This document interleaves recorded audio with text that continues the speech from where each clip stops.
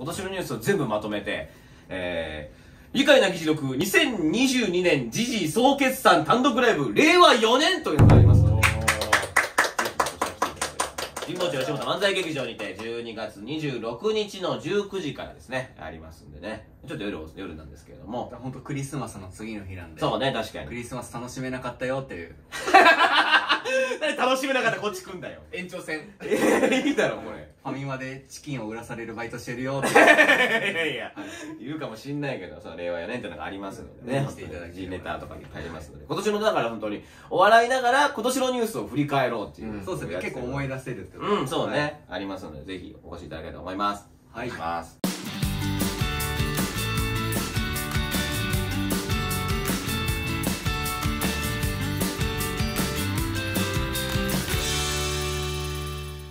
ます。隊長。チアリーダお笑い芸人、せーの。職業調査隊。ああ、いいですね。なんか、楽しいやつが今日はお笑い芸人の愉快な議事録さんに来てお願いします。ありがとうございますね。いいですか？はい、何ですか？僕らでいいんですかね、そうよ。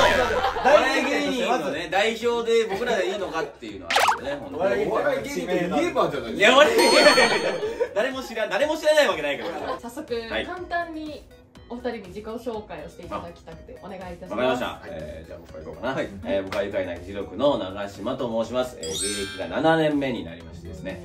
で、えー、今、結婚して、えー、子供がいましてですね。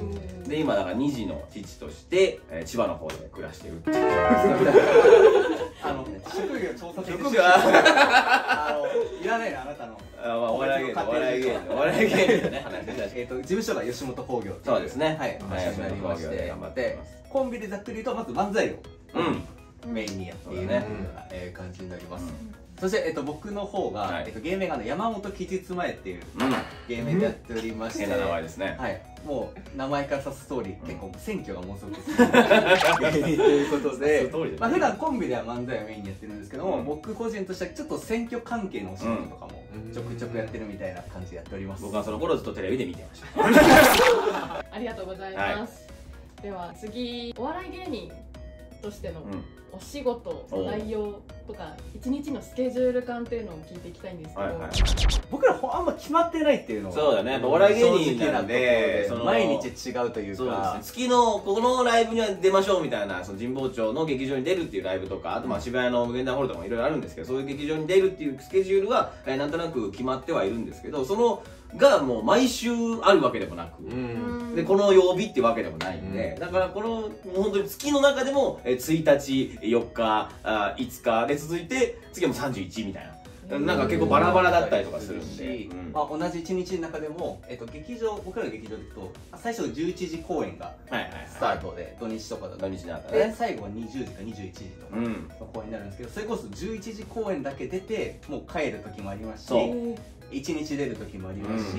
えー11時出て、えー9時まで空きみたいな。の そう。いう街がめっちゃ長い時もあったりとか、仕事内容でいくと、まあ、その劇場に出たりっていうのと、うん。あと芸人として一般的にあるのが営業地域のお祭りとかでちょっと盛り上げたりとか、うん。あと企業案件。はいはいはいはい。企業さんの歓迎会とか、うん。ああとは、えーまあ、年末年始になってくると忘年会とああそうかでね確かにえあるんですよそういうだからもうひたすら社長と、ね、コミュニケーション取れるタイプの人はもう忘年会シーズンめちゃくちゃ忙しい、うん。なるほどなるほど。確かに。あと学園祭とか。そうですね。あとそうですね。僕らがちょっとまだ売れてないで染みついちゃってるんですけど、うん。テレビがあります。お 笑い芸人のねそうまず最初そにそれしてだからね確かに。まあそれはまあそれのイメージですうんそうそうそう。そうだわ確かに。いきなり地下の方の話しいやいやいやまあ劇場近いってわけじゃないですけどそうですね。確かにね。そうそうそうそう。劇場に出てって感じですけどね。うん。まずじゃあそうですね。なろうと思って一番近いってなると劇場がまあそうですそのそう NSC っていうまあ僕らで吉本なんで NSC っていう吉本の養成所。まあまあ他の事務所も養成所いっぱいあるんですけどその養成所に入って1年間なんか頑張ってやってで卒業したらまあ吉本の劇場でえー切磋琢磨してみたいな感じですかね。吉本の事務所でいくと、えー養成所に入れば基本的に誰でも芸人になれるっていう。確かに。で大体お金が多分40から50万ぐらい。まあ逆に言うとただそのお金さえあれば誰でも芸人になれる。確かに。状況なんで、うん。多分もうすぐ。えーそれがよく僕らの聞くなんか NSC 何期みたいな。あーあーそうですそうですそのメンバー。はいそうですそうですそのまあその木で言うと実はあの僕と山本は木がちょっと一つ違って僕が、えっと東京 NSC21 期。でこれ彼22期だったりとうかして。ん。先輩後輩の。先輩後輩であったりするんですよね。あそれだちょっとさん付けしてる時もあるんですそうけどなんですよ。そこで違和感は。そうなんですよ。多分。そこは変わんないんですか？やっぱ長年やってて。やっぱりこう、まあ、僕もそうなんですけどやっぱこう吉本って本当縦がすごいちゃんとしてるというか。なるほどなるほ他の事務所のなんか人との話とか聞いてると、あのーまだ事務所の養成所とかなかった頃とかは、うん。そのもうデビューした日があ芸歴になってたりするから、うってなってくるとどどっちだっけ？えお前この日だったっけ？みたいな感じでどっちかどっちか分かんなくなったりするんだけどうん。僕らはもう NSC っていうもう序列が完全に成立してるかだらから僕らの後輩にあの年齢が70歳のおばあちゃんっていう芸人。あそうそうそうそう。あ おばあちゃん後輩めちゃくちゃなそう後輩。だからもう全然タメ口で行くし。おばあちゃんだけど敬語使いますおばあちゃんだけまあまあそのだから全然年とか関係なく基本的にはその敬語とか使うんですよもうね入った方が先みたいうんな感じなんで、そうなんです全然関係ないそこは他の職業とは違うのかな。確かに。木が違う中ではいはいコンビを組むっていうのはどういう状況ですか？ああなんかこう僕らは結構ちょっと軽く珍しいパターンなんですけど。マッチングアプリかな。えまあないないない。男同士でマッチングアプリないから。僕らのね出会いね。そうそうあの、まあ、僕があの昔麻布十番の会員制のバーで働いてたんですよ。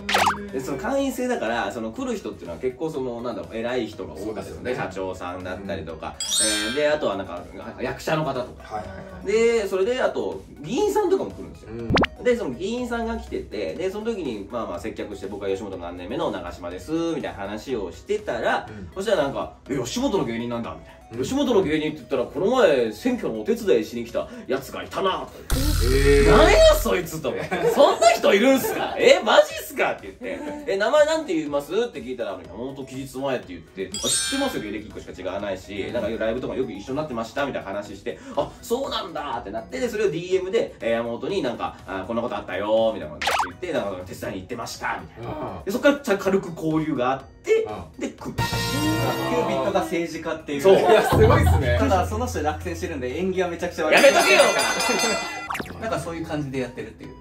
東大京大までです。高学歴は